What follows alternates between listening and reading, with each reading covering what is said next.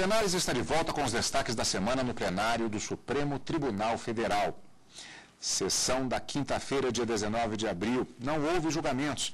Foi uma sessão solene para a posse dos novos presidente e vice-presidente do Supremo Tribunal Federal, com transmissão ao vivo pela TV Justiça. A equipe de jornalismo da TV Justiça acompanhou toda a solenidade, cujos principais momentos vamos rever agora. Quase nove anos após se tornar ministro do Supremo Tribunal Federal, o ministro Aires Brito assumiu a presidência da mais alta corte brasileira e também do Conselho Nacional de Justiça. Uma cerimônia repleta de autoridades. Assim foi a posse do ministro Aires Brito na presidência do Supremo Tribunal Federal. Estiveram presentes a presidente da República, Dilma Rousseff, o vice-presidente Michel Temer, o presidente da Câmara dos Deputados, Marco Maia, e a senadora Marta Suplicy, presidente em exercício do Senado. Mais de mil pessoas vieram até a Suprema Corte acompanhar a cerimônia, que foi aberta com a execução do hino nacional, interpretado pela cantora Daniela Mercury. Os filhos mãe,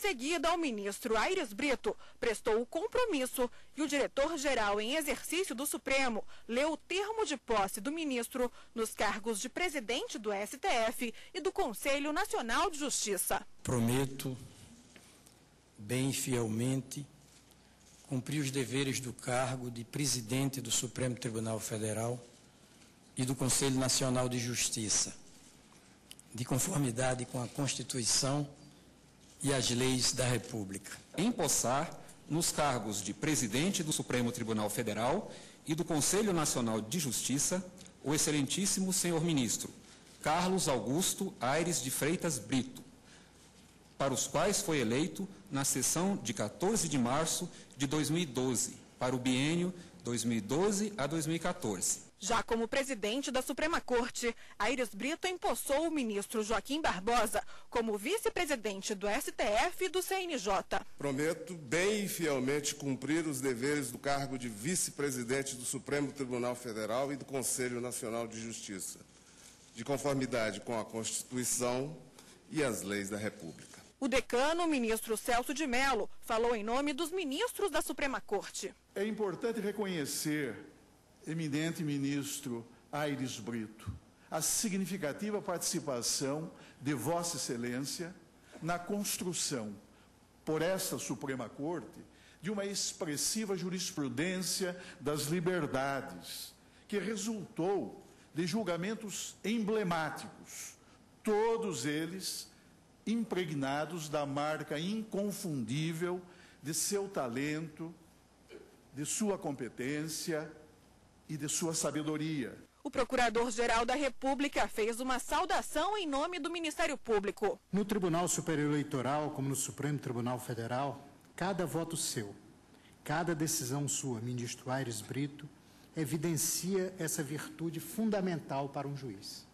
Vossa Excelência não se alheia de nada, de absolutamente nada do que é humano.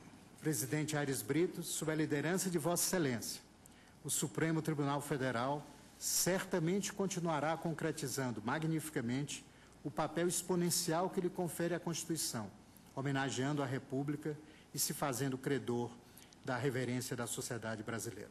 O presidente da Ordem dos Advogados do Brasil falou sobre a importância do Poder Judiciário. Não é necessário lembrar o conhecimento que o senhor acumulou das glórias e das agruras da realidade cotidiana do advogado militante, de jurista poeta, de poeta jurista. Para nós, Vossa Excelência será sempre o advogado, forjado no sentimento humanista que caracteriza a profissão de defender os direitos daqueles que buscam a justiça. No fim da cerimônia, o novo presidente do STF, ministro Aires Brito, agradeceu a presença de todos e fez o discurso de posse. O ministro Aires Brito é o 54º presidente do Supremo Tribunal Federal desde a época da monarquia. A escolha do presidente da mais alta corte do país nos tempos da monarquia era feita pelo imperador e o mandato era de três anos, sendo permitida ainda uma recondução. Mas, 100 anos depois, ainda no regime autoritário, por meio de um decreto ficou determinado que era do presidente da República a responsabilidade de nomear o novo presidente e vice-presidente do STF, com a condição destes serem escolhidos entre os integrantes da casa. O regimento interno foi atualizado na década de 70 e a presidência da corte passou a ser de dois anos sem direito à reeleição. Desde a sua existência, quando ainda era chamado de Supremo Tribunal de Justiça, 54 presidentes já passaram pelo Supremo Tribunal Federal.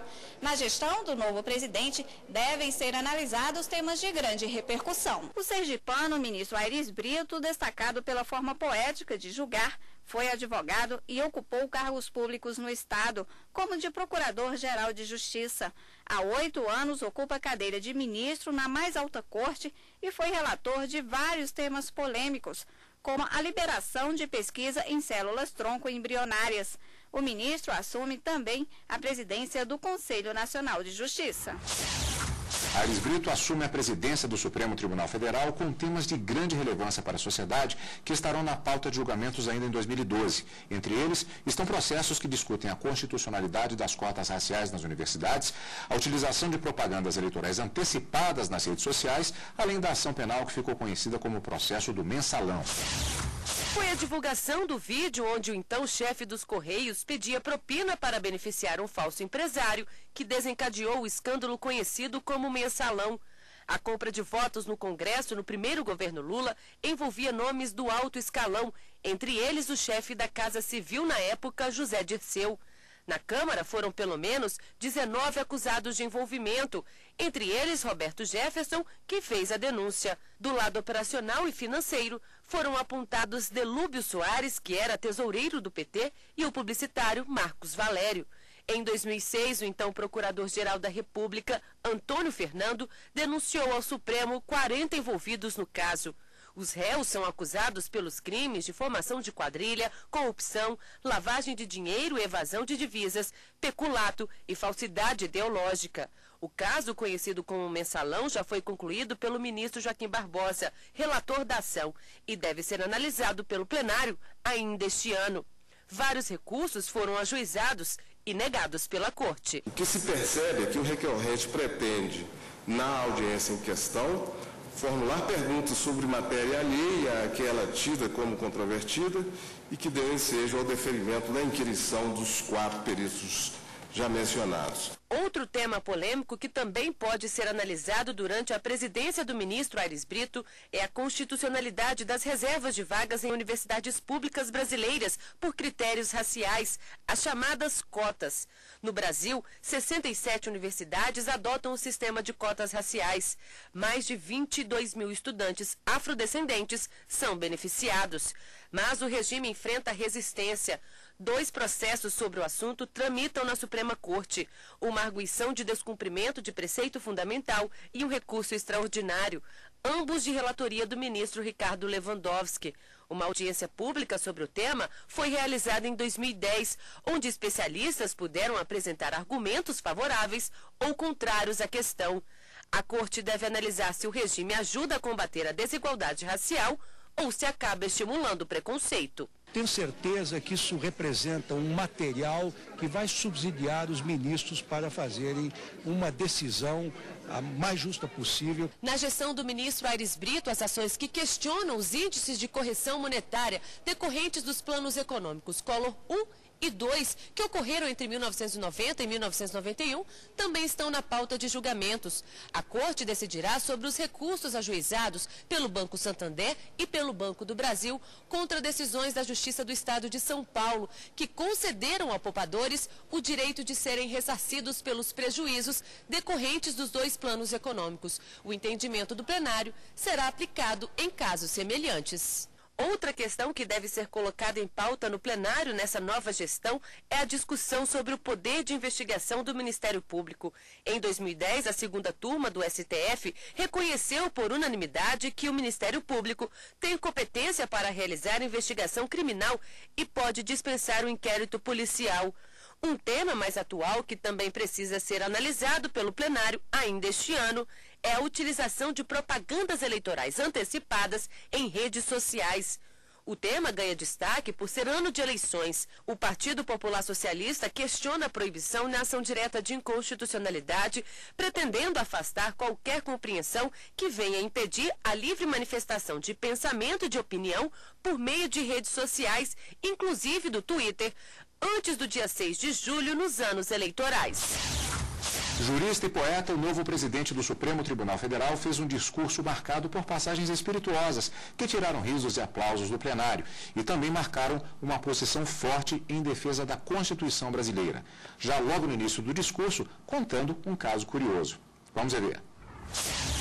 Na primacial observância da Constituição e na complementar obediência às leis do Brasil, é que reside a garantia de um desempenho à altura da relevância dos respectivos cargos.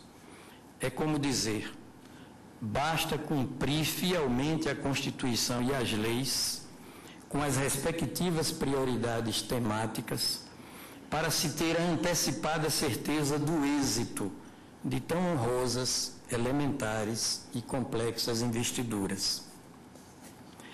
É o que sente e pensa o próprio homem comum do povo Segundo pessoalmente comprovei com a vivência deste recente episódio, que peço licença para contar.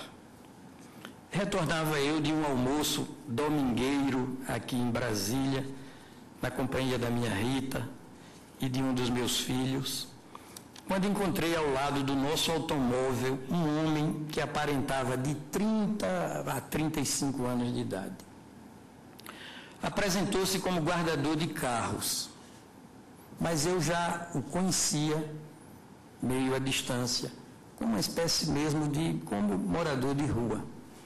Já ouvi mais de uma vez com rede estendida sob árvores para embalar o abandono dele. Apresentou-se como guardador de carros, eu dizia, e assim me dirigiu a palavra. Ministro Aires Brito, como o senhor vê, estou aqui tomando conta do seu veículo para que ninguém danifique o patrimônio da sua família. Eu agradeci aquele homem que me conhecia até pelo nome e procurei nos bolsos algum trocado para recompensá-lo. Em vão.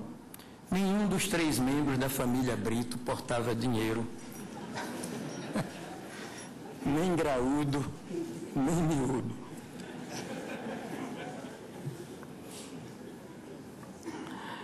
Ele disse então, disse eu então ao meu educado interlocutor, como o senhor percebe, desta feita eu vou ficar lhe devendo. Ele me fitou diretamente, profundamente nos olhos e altivo respondeu: Ministro, o senhor não me deve nada. O senhor não me deve nada, ministro. Basta cumprir a Constituição.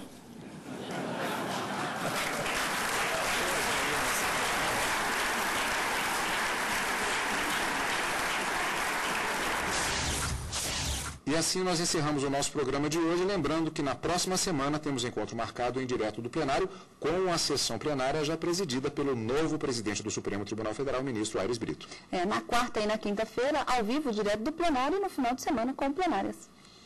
Como sempre, obrigado pela audiência e continue conosco aqui, na TV Justiça.